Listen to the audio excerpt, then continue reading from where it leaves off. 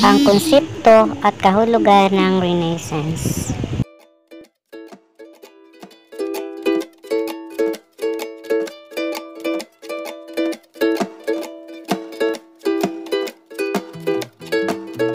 Sasagutan natin ang katanungang ito. Paano nagsimula ang Renaissance? Ano ang Renaissance? Saang bansa isinilang ang Renaissance?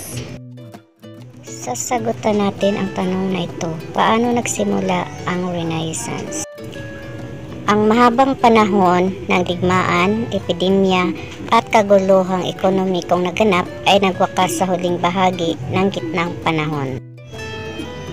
Ang pagtatapos nga na ito ay hudyat na sa simula ng isang pagbabago sa bagong panahon na kinilala sa kasaysayan na Renaissance. Ano ang ibig sabihin ng salitang Renaissance? Ang Renaissance ay mula sa salitang Pransis. Ibig sabihin sa Tagalog, muling pagsilang o rebirth naman sa English. Nangangahulugan din itong muling pagkamulat muling pagkabuhay at pagpapanibago o ang tinatawag na revival. Ang Renaissance ay nagbibigay daan din sa maraming pagbabago sa larangan ng sining, arkitektura at maging ang eskultura. Ang Renaissance ay panahon din sa muling pagsibol ng mga pagbabagong kultural.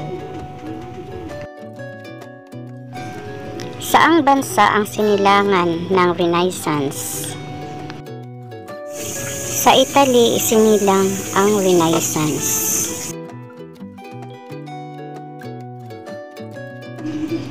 Bakit ang Italia ang sinilangan ng Renaissance?